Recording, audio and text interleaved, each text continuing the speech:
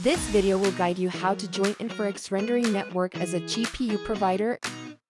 Firstly, go to inferix.io webpage and download the Windows installer for GPU owner. Run the installer file. Click to more info and run anyway if the Microsoft Defender Smart screen appears.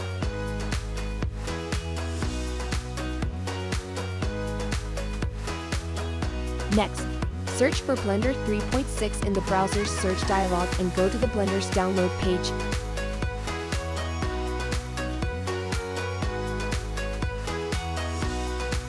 Download the Windows installer of Blender 3.6 LTS.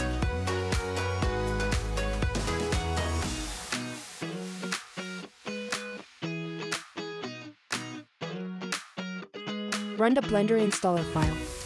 Click to more info and run anyway if the Microsoft Defender Smart screen appears.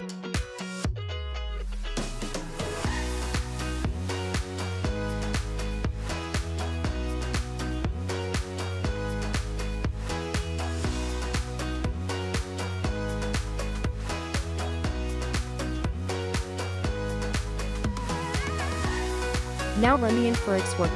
For MVP version, no login required. Now your GPUs are connected to Inferix Rendering Network,